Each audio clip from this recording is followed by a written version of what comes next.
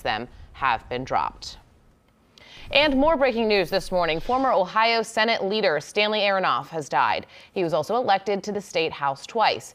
He was 91 years old. Governor Mike DeWine released a statement this morning, reading in part, Fran and I were saddened to learn of the death of our friend, former Ohio Senate President Stanley Aronoff. Stan and I served together in the Ohio Senate. Throughout his career in state government, Stan was an advocate for Cincinnati and for many projects across the state of Ohio. Okay.